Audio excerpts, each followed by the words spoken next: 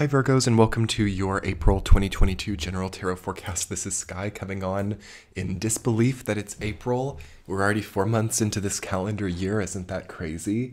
Um, wow, uh, what interesting energy coming up for you. I feel really hopeful um, for what you're facing this month, Virgo. I think that you're going to get a lot of confirmation of um, basically things being okay and things like not really uh, being maybe the threat that you thought that they were. I think that this is a really hopeful month uh, for you. It's very rejuvenating, it's very replenishing, and I think you're going to rest up and uh, get the energy to. Uh, face anything that you've needed to face. Um, uh, as a lot of you know, uh, every day that I do a reading, I like to spend time meditating and also thinking about, uh, you know, what the experiences I'm having that day uh, how those correlate to the sign that I'm reading for. Um, and today, as I've been preparing to do your reading, Virgo, I've basically just felt really rejuvenated, really replenished, and I felt hopeful in general. So I think that that's what uh, is going to be happening for you this month. Um, I think that you have to start acknowledging more the power that you have or the freedom that you have to make changes and not feel so confined, okay? Uh, not feeling confined by the future, not feeling confined by what you've already created, and knowing that you have the right to um, make the changes that you need to as well. Um, I believe that after we came past all of those uh, Capricorn stelliums in 2020, a lot of people felt really locked into their identity or into who they were. And uh, while consistency is a great thing, and while continuation is a very empowering, securing, uh, you know, method, I do feel that sometimes people need to reinvent themselves, and sometimes people need to make changes. So, um, if you've been feeling that way as well, Virgo, you might start thinking about how you can um, do that, and uh, also how the need to prolong a version of yourself or prolong a certain identity has um, maybe led to stagnation or led to a feeling of being drained, at least. Uh, the main cards that I'm looking towards in your reading are Four of Swords and the Star. So, uh, one way or another, April of 2022 needs to see you feeling more rested and more energized in general. Uh, you only have two major arcana cards in your reading this month the Hermit and the Star. Um, so it's kind of a very fleeting energy. It's like a passive kind of healing. It's a uh, easy, more vulnerable connection with you that sees you overcoming any past heartbreaks and uh, being able to overcome this future obsession or this future tripping tendency. Seven of Cups coming up for so many people this month. And over the last really year or two, I've been seeing just Seven of Cups over and over and over again. People are so obsessed with what's on the horizon, or so focused on what they might do in the future or what they will become that they're losing track of where they currently are. And maybe letting some things outlive uh, their time to basically continue propping up this future tripping place, okay? So if there is a dividing line or a separation between where you currently are and what you're like thinking about for most of the day, I would see that this month and I would start to rest into what you are really currently living and um, being able to actually see how that connects to what you want and start to make those steps instead of uh, being stuck in a dreamer's quandary, I'll call it, or a kind of like never ending state of uh, dreaming. We want to really see ourselves realizing our dreams. We have a Jupiter Neptune conjunction happening on your axis this month, happening in your opposing sign of Pisces.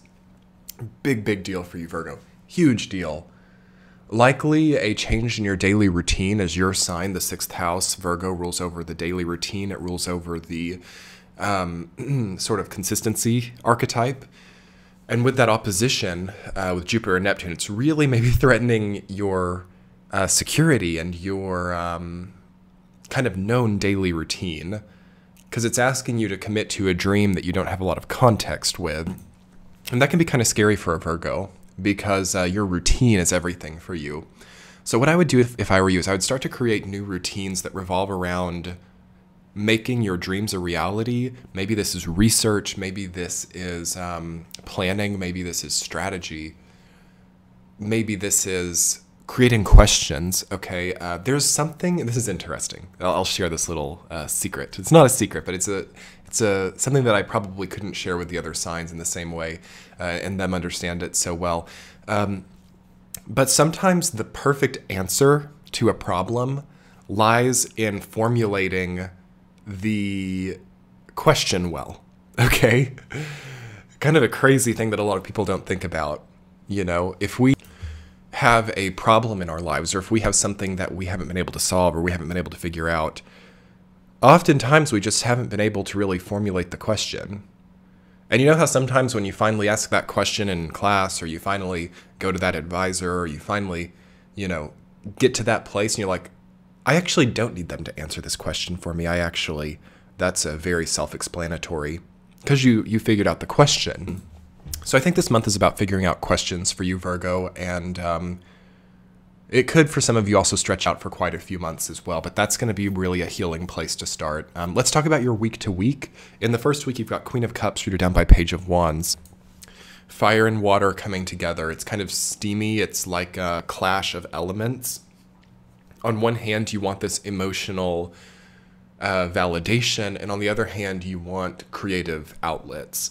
So it's like part of you wants to express, and part of you wants to be expressed upon by another. So some of you could be like uh, being tired of being single with that combination, but also like enjoying the uh, um, freedom of being single as well. It's kind of like that clash. So we want to again maybe formulate these questions better, or uh, get to a place where we know more so what it is that we actually want. Um, the first week will basically show you where there's any clash and also why that clash is actually maybe good for you or creating the right outcome in the long term. Week two, you've got the Four of Swords rooted down by the Seven of Cups. Um, yeah, it looks like you need to spend some time focusing on uh, the long term, or you need to spend more time um, healing from future tripping, okay? Looking at where you are now and who you are now, seeing that, not letting that lose its relevance napping. Okay, I think you guys need a nap. Maybe it's about putting like a 30 minute power nap into your daily routine, like midday or something, if you can do that. Uh, maybe you need um, some type of new resting ritual, maybe a new skincare routine at nighttime, something that ritualizes your resting and your remembrance or um, your acknowledgement of where you are right now instead of where you stand to be. Okay. Week three, you've got uh, Two of Pentacles rooted down by Three of Swords. Um, so there is a decision. There's a decision that you're making about um, how to heal your heart as well. So you've got like your future tripping or a future tripping issue and also a heartbreak issue wanting to come up for healing this month. And you're going to have to decide on that in the third week because the fourth week is a big change or a big injection of energy.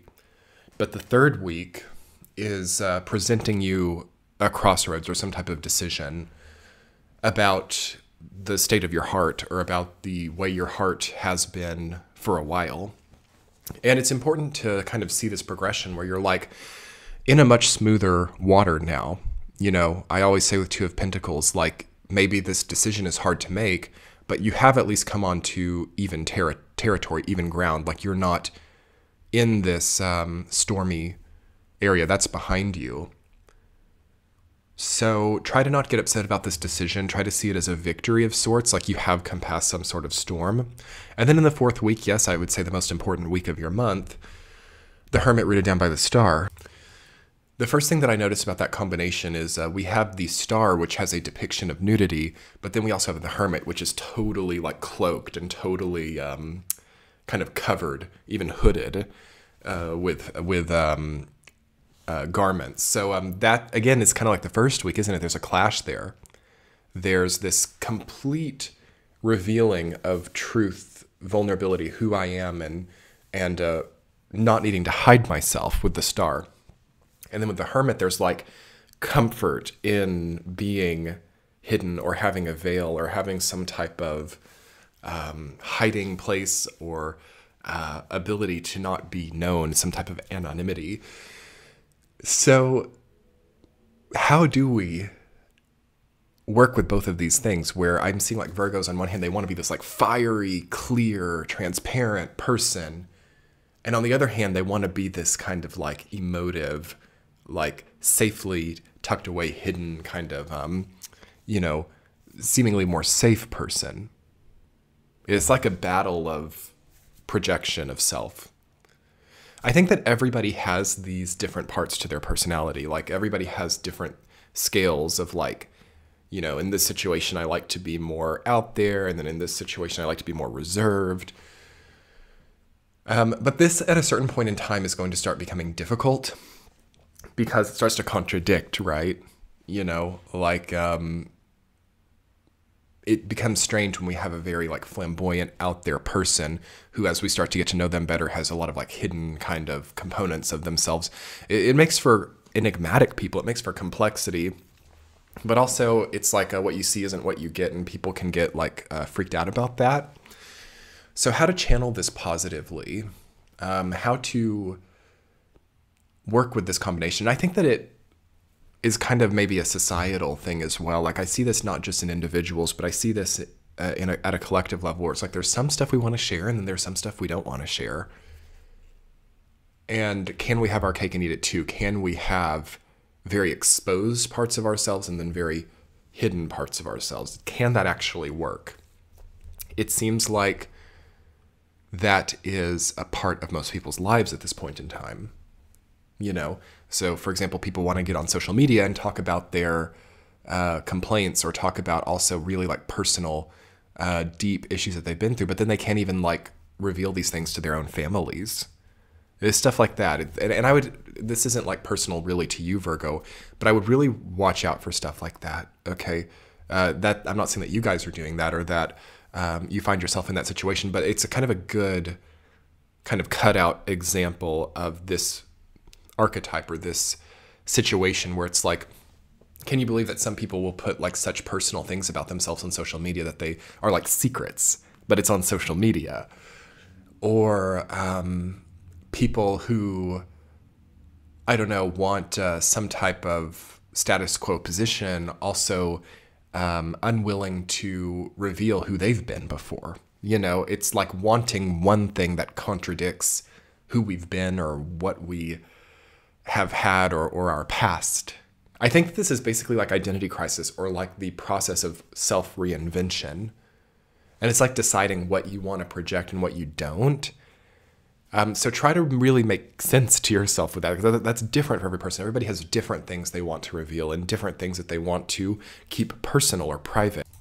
And it looks like a really good month, basically here in um, here in April, to start kind of making a self mantra of like what I want to be known for, what I don't want to be known for, what I want to be private in my life, what I don't want to be, what I want to be public, and uh, not being so um, spontaneous with that. Uh, that feels like a good thing to do this month. And, and let's talk more about that in your extended Virgo. I'm going to put together an extended reading for you. Basically, in conclusion for this month, like you're you're great just keep things in the present and focus on that rejuvenation, and I think you'll be good.